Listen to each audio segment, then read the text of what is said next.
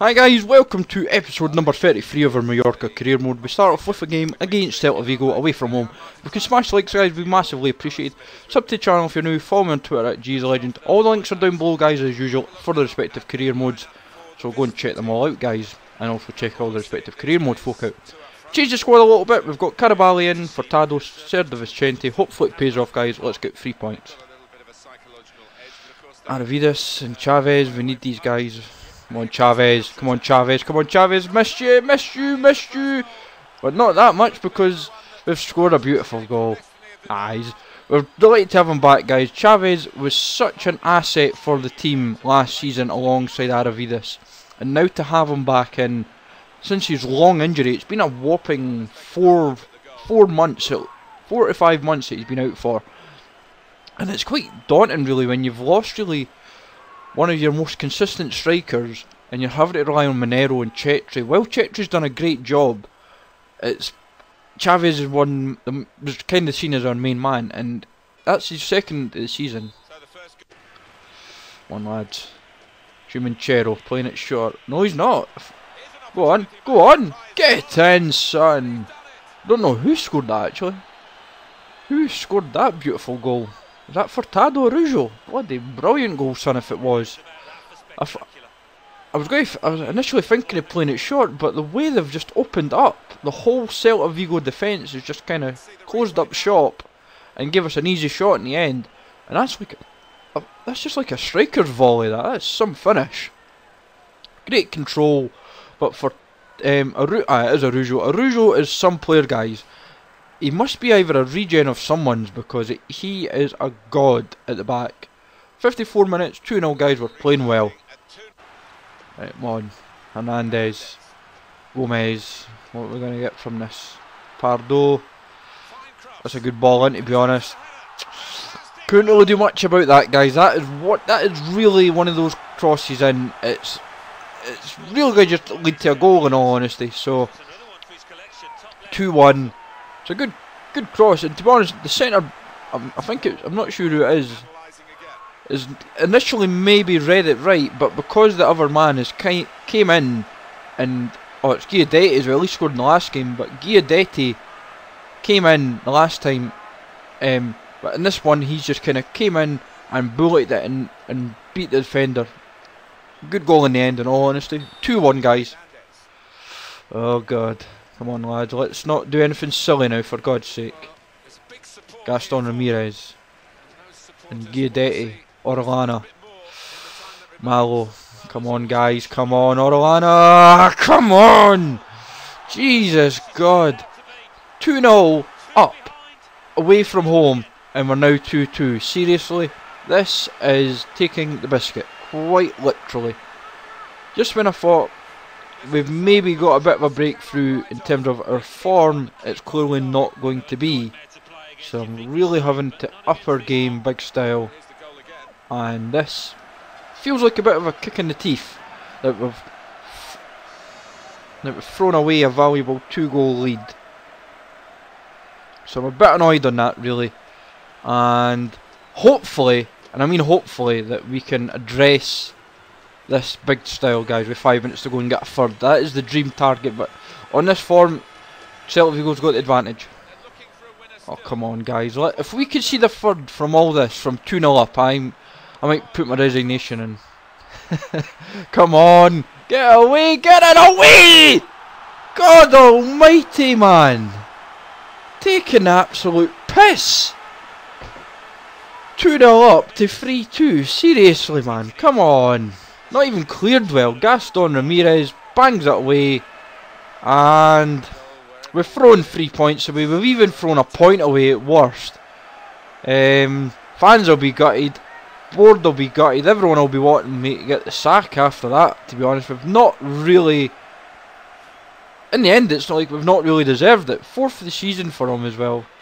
He's a good player, Gaston Ramirez. Just never performed in the Premier League, which is pretty gutting because he's a quality player. This is just absolutely brutal, guys. Just going to have to try and either force one last attack or nothing, really, in all honesty. 3-2 loss, guys. That is an absolute brutal result to take. And big style. Second game of the episode, guys, is against Granada. Hopefully, we can get a result after the disappointing result against Celta Vigo. But time will tell, of course. Um, we've tweaked the squad a little bit. Clayton Lewis is in, and Monero's up front this time over Chavez, just bringing him in, breaking Chavez back in, and Hurtado on it right back. Let's get a result, guys, badly. Right. Hurtado, Galiz, come on, Galiz. Come on, Galiz, Galiz. Christian Galiz! He puts the ball away for 1 0. We've really, really got to keep this pressure going if we want to win games.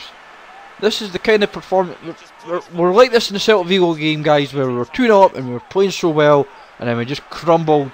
We can't afford to do this this time. If we're a goal up, we've got to keep the pressure on and just keep the goal flowing because otherwise we are not going to get this top half spot. That's what we're aiming for still, guys, is like a top half finish. And these are the results that make the difference.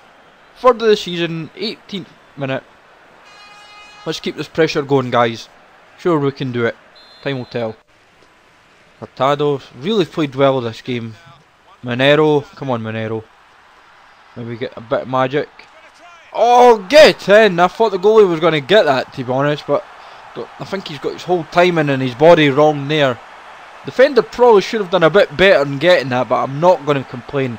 2-0 to the good. Monero has proven in this game why he, um, he slotted in over Chavez, mainly because Chavez was really knackered after his first game back. But that is a good finish. Chavez would probably have scored that just as well, and same with Aravidas. But the goalie there is kind of mainly at fault. The whole body position is completely all over the place. He ended up trying to do the splits, backfired, and they're 2 0 down. But Granada, I think they need the win just as more than us, really, in a sense, but we need to keep the pressure going. Fourth of the season, 50 minutes played. And they're going to get one last attack. Or we going to get one last attack. Perez. One. Nope. 2 0 1, guys. That is a good, solid result. I ain't going to complain. Happy days indeed. Third game of the episode, guys, is against Espanyol. This should be a tough one, guys. Hopefully, we can get a result against Espanyol. They've always been quite a tricky little side to play against, and hopefully we can prove it here. This time we've brought Chavez in at Cam over um, Clayton Lewis. That is the only change we've made. Hopefully it pays off, guys, and get three points. Chavez plays quite well in a Cam role for what I've seen so far. Chumanchero, Chumanchero! Get in, son! What an absolute talent. It's like, from a free agent perspective, he's just great to have and you think to yourself, oh, he's quite low rate, he's not going to be a difference maker. Be honest, guys, you'd be surprised how good Chumanchero actually is. If you're like a decent little outfit, he would slot into your midfield very nicely. The growth doesn't really happen, even if you train him so much. But that is a good finish from him, and I can't complain whatsoever. So 1 0, guys, early on in this game, and the pressure will hopefully keep mounting on to um, Espanyol. Second of the season from 11 minutes gone. Okay, happy days. But the thing is, guys, we've got to remember that um, Espanyol, I think in terms of the season, they are safe going into this, I believe, if I remember looking at the table before we went into this game. Come on, lads, let's not do anything silly now. What's that for a touch? Right, of this. Get us some magic. Get us some magic. Oh, what a ball if Monero can get there. That'll do, a bit of pressure. Bit of pressure on, that'll help. Hurtado. Chumanch oh, ah, Chumanchero, no like you son. Co oh god, Cochrane's back in. Oh god, not ideal. Such a great striker, I always recommend him for career modes guys. Cochrane, Montanes.